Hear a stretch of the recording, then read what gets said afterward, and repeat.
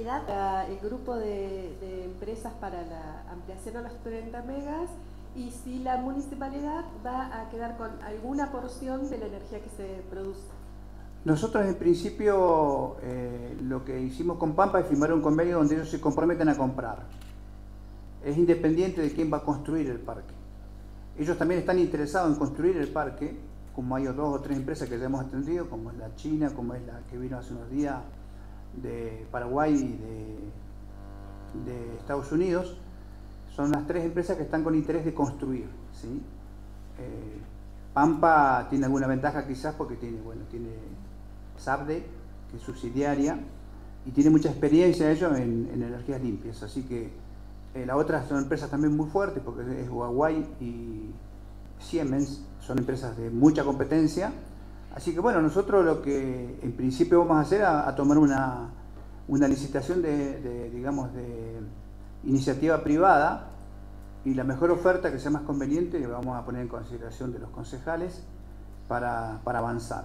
El convenio que ahora hicimos, eh, bueno, nos están transfiriendo porque está en la escribanía, pero apenas lo tengamos vamos a poner en conocimiento de los concejales para que en conjunto eh, sepamos todo eh, dónde vamos, que son compromisos muy fuertes, que hay que hacerlo con mucha responsabilidad y que eh, Dios mediante, si construimos o vamos a construir el parque de 30 megas, esto implica pegar un salto eh, de calidad y económico muy grande para la comunidad. Eh, y si lo hacemos asociado, vamos a terminar con la, mitad de la ganancia que pongamos en, el convenio. ¿no? Y si lo hacemos nosotros, por ahí lo hacemos nosotros, nos quedamos con el 100% de la renta. Porque vamos a hacer una iniciativa privada. Ya hablamos con Pampa también, y ellos van a presentar una propuesta eh, como también va a presentar, creo que, dentro de 15 o 20 días, la empresa esta que vinieron de Estados Unidos y de Paraguay. Eh, y bueno, estamos hablando con, la empresa también de China, ¿no? En definitiva, nosotros siempre queremos todas las cosas para ayer. Sí, siempre estamos muy apurados para todos.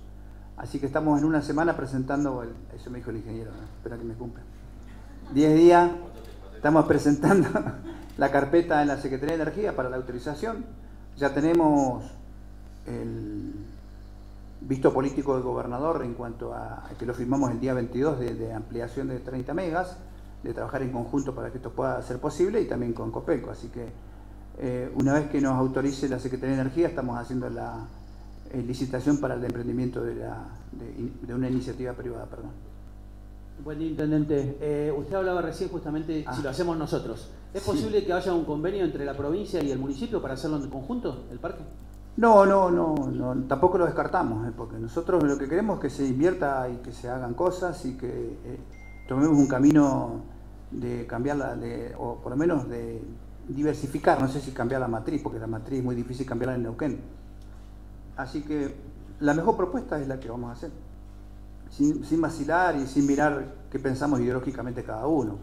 Nosotros no tenemos ninguna sintonía con la Secretaría de Energía, pero bueno, estamos trabajando bien porque trabajamos seriamente. Em, ¿Cuáles son las condiciones que ofrece eh, la municipalidad o Putralcó en este caso a los inversores? ¿Qué cree usted que es lo que atrae? Y las condiciones son que nosotros tendremos los 30 megas vendidos. Digamos, es tremendamente ventajoso porque uno le está entregando un negocio con, los compradores, no ni siquiera con la mercadería. Así que eso es una ventaja, inclusive para el mismo municipio.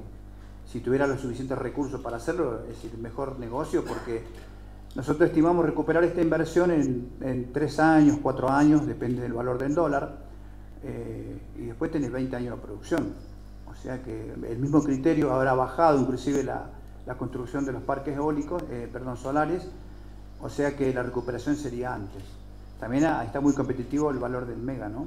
Eh, está muy competitivo porque eh, al mercado están viniendo muchos inversores en otros lugares de, otras provincias y eso hace que, la energía baje, en este caso particular de la energía, eh, energía limpia. Y la tierra, tenemos la ventaja de tener en venta los 30 megas, que se me los van a comprar, que eso es sustancial, y tenemos la tierra de disponibilidad. Si lo hace un privado, vamos a cobrar regalías. Nada más.